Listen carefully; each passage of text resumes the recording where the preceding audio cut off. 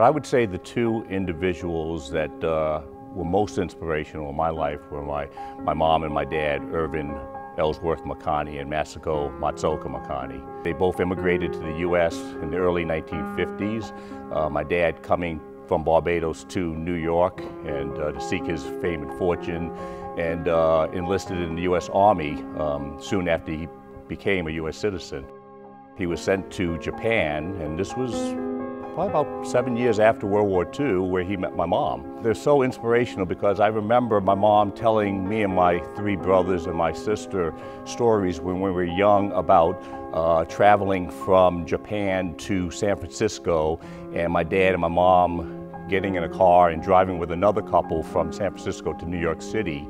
And again, this was back in the early 50s when, uh, you know, driving through the southern part of the country was, uh, you know, a little tenuous. Uh, my mom would tell us stories about stopping to get something to eat and my dad not being allowed into the restaurant.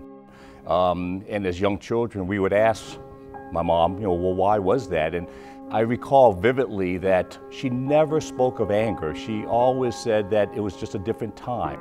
I remember uh, the house in which we lived in, whenever there was a project that needed to be done, my dad and it would come to me and say, well, we need to put a chain link fence in the backyard. What do you think? And neither one of us had any experience in doing those types of things, but he would just say, you know what, let's give it a shot.